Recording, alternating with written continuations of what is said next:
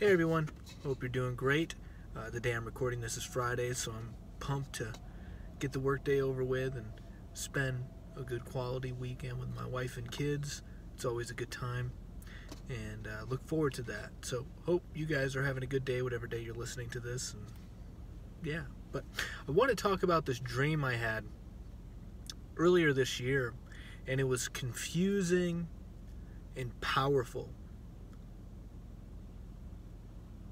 And because of that, it's been gnawing at my curiosity for ever since I heard it. Ever since I heard it. Ever since I had it. And so I want to describe what that dream is. And on my drive to work today, I think I have a deeper insight as to what that dream means. So, in this dream, it was a dark, gloomy world, and there were a bunch of people in this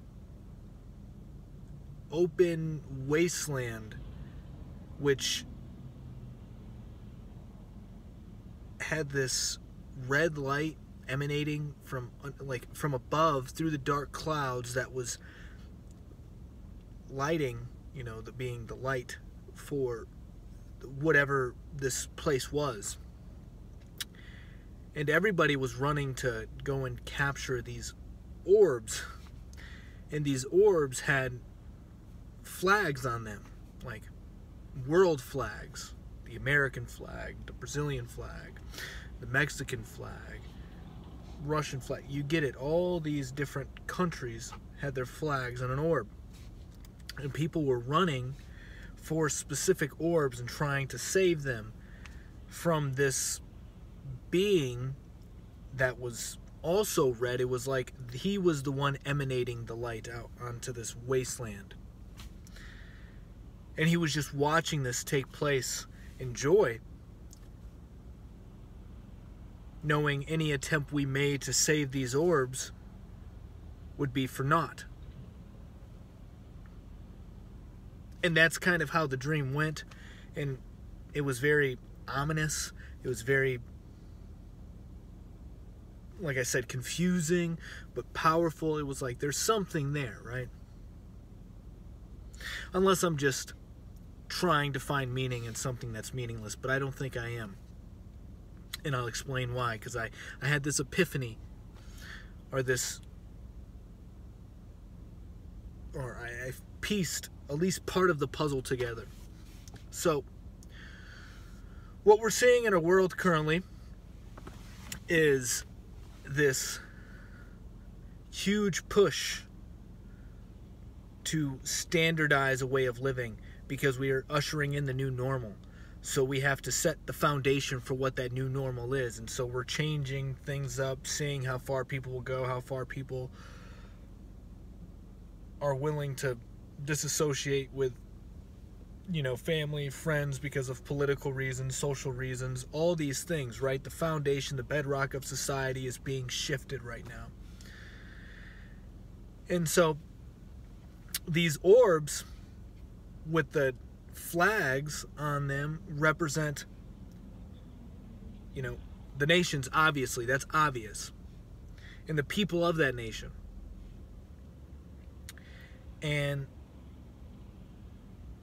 this red being that was emanating red light onto this wasteland is also secreting a certain frequency.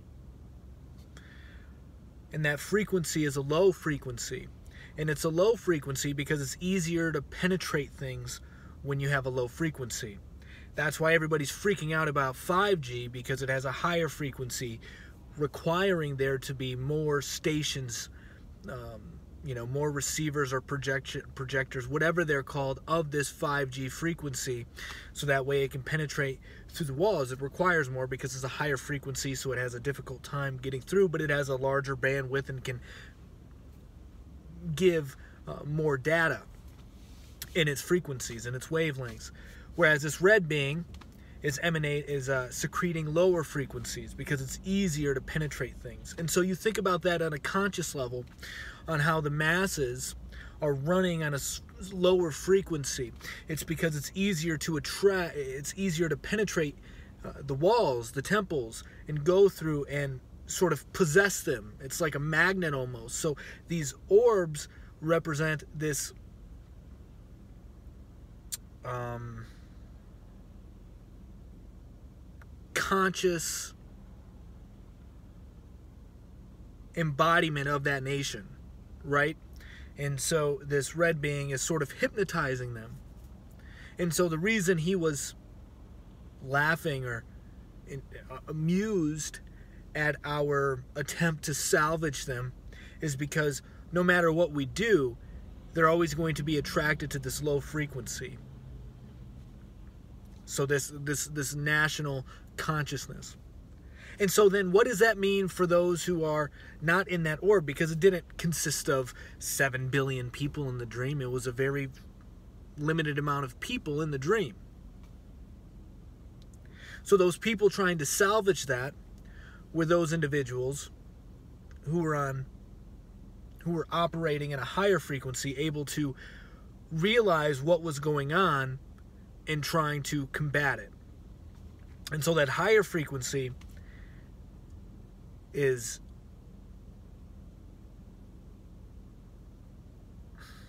I can't say at opposition, but it's the system that's just it has this harmonious relationship. It's like separating the wheat and the shaft is what was going on right there. And so this dream, I'm not exactly sure uh, what it means, but it appears to represent some sort of conscious rapture that's taking place. The nations operate lower frequency, getting sucked in by the emanator of, I don't even know if that's a word, of lower frequency, while the emanator, once again, don't know if that's a word. I could just be making words up right now. Who knows? Of higher frequency is attempting to salvage, is seeing what is salvageable. And now we're entering, you know, you, you take both of those pieces together, and do what you will with them. And then you add in the mass decentralization that's taking place right now, whether that be from smartphones to finance to industry, you know, because nanotechnology is going to completely destroy the in, in industrial society that we have right now.